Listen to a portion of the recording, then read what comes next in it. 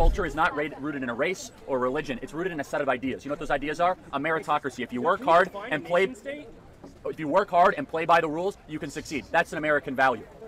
The thing about this talking point is, and while Charlie Kirk is quite successful among like conservative youth, this idea is gaining less and less traction among people, especially Gen Z, as time goes by. This idea, like having a rich, wealthy trust fund baby who's ha- like who has like multiple houses and like nice cars and and all that. Someone as wealthy as Charlie Kirk, Andrew Tate, um, any of these big right wing figures, like people who actively show off their wealth, even generally speaking. Um, having them tell you if you work as hard as me, then you can be as successful as me. But then it's like obvious that's not the case. Like that that really only flies with the kids who've never worked a job before. The first time you've been fired for no reason, like laid off, or the first time you've just gotten reamed out by your boss for no fucking reason, the first time you realize that like your your employer is looking for every opportunity to fuck you and get every last bit of work they can out of you for as little money as possible. Like once they figure out kind of the situation through life experience, tend to lean more left. It's been more and more common among like every generation of workers since millennials.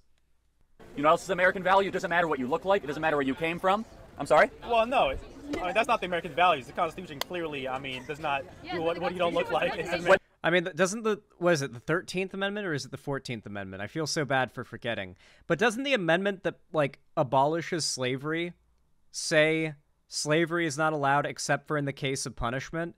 Also, as much as conservatives try to pretend it's not the case, this country was built on slavery. Slavery was the practice that built the entire American South's agriculture, and agriculture was the American South, okay? Like, it was the North the Yankees, the progressives, those city slickin' factory workers that like fought against slavery. They fought a civil war to preserve slavery on the on, in the South. In fact, in their secession document of the South, they list slavery as the reason they did so. No, hold on. But the Constitution is completely agnostic to race. Where does it say? Where does it say once about skin color in the Constitution? So Charlie Kirk is almost like a time capsule of 2016 era talking points. Who remembers the um the voter ID laws and I think it was South Carolina that the Supreme Court back in the day shot down? You see the Republicans back in 2016, 2017 maybe, it might have been leading up to the midterms. This is years ago.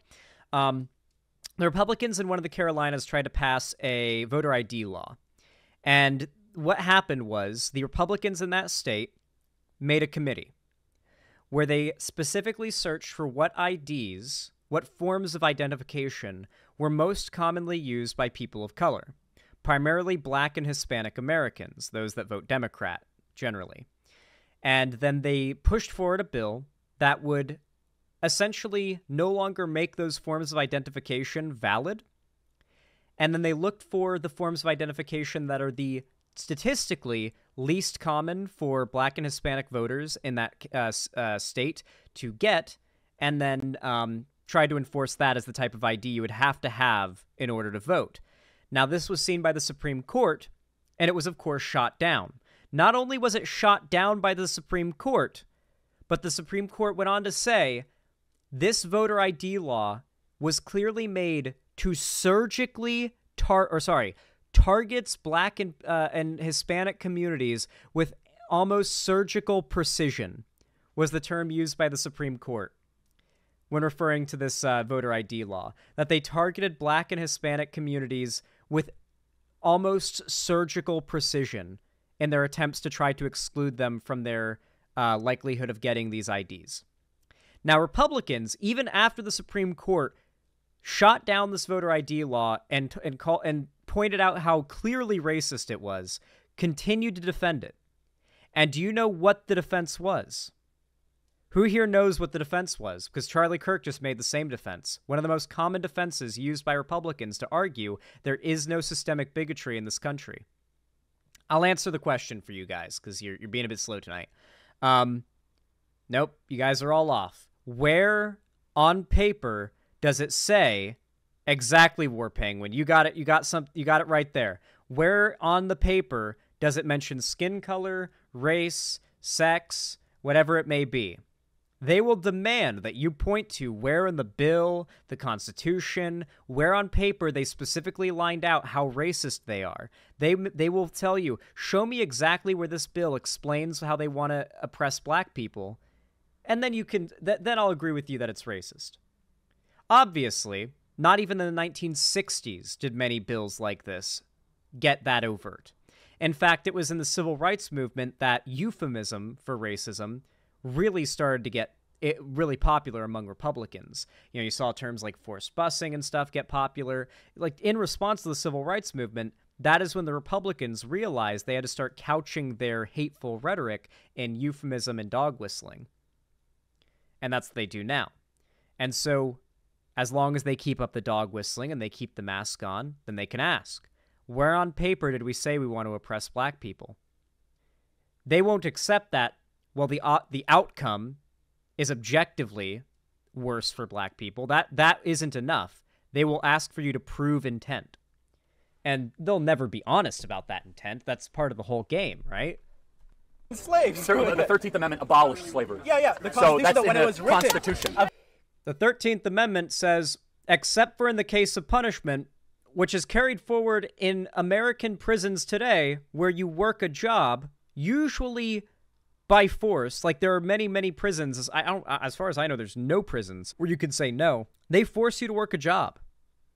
If you go to federal prison for long enough, they eventually force you to work a job. And I don't even know what happens if you refuse. I think you get put in solitary. I think they'll throw you into like a solitary housing unit. Yeah, that's slavery. They get paid like eight cents an hour or something like that. Like literally like five bucks a week on the highest of high ends. Like we're talking tens of dollars a month and like compelled labor. value. I'm defending the. Constitution as it is today. Oh, as is today. Yeah, so Okay. as it is today, the Constitution is agnostic to race and applies equal application of law to all people. A- a- As the Yeah. Constitution has been ratified and amended, explain to me how that what I'm saying is incorrect. Because when you have a history of slavery, it's still going to play out into today. So, so i- i- if, if that Okay, hold on. I feel like this girl is a plant. Does that does that shirt say feminist? Or that that sweater? Does that sweater is that just a white sweater or, or hoodie that says feminist in black?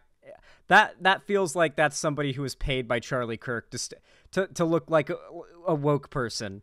Okay, here, put on this hoodie. We had the word feminist printed onto it, and and look like you're some woke triggered uh, college kid.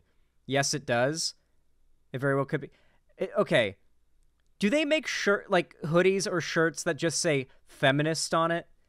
That is the most on the nose clothing I could possibly imagine. I've never met somebody in all my time of the online left that I would believe would wear something like that unironically.